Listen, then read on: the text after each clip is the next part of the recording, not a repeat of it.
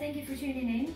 Um, as you watch my, if you have watched my previous videos, um, you saw me baking a Christmas cake, and I have promised you that I'll show you how I feed the Christmas cake. Um, I normally do it every two to three weeks. You can do it, again, any interval you want, or depends how boozy you want it to be. Um, after we baked it, I kept it in a foil and some cling film, and then in a carrier bag. Um, Basically just to stop air getting to it and keep it as moist as possible. So if I just unpeel that, you can smell it already. Okay, here it is. Christmas cake. It's a little bit burnt on top, not burnt but browned. so all you need is a skewer. Make some holes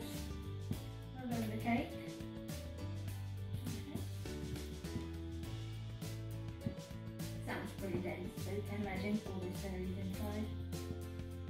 Okay. All you need is a spoon and of course brandy. Pour it in. And then try to drizzle it into the holes that were made with the skewer. The holes there just to help the brandy soak into the bottom of the cake. You want it to be evenly fed. Normally probably for a big cake, I would say probably uh, two, three spoons would be absolutely fine. And yeah, obviously alcohol will keep it, uh, moist and make sure that it last you a while. So drizzle it over and you're done. And this is how you do the Christmas cake.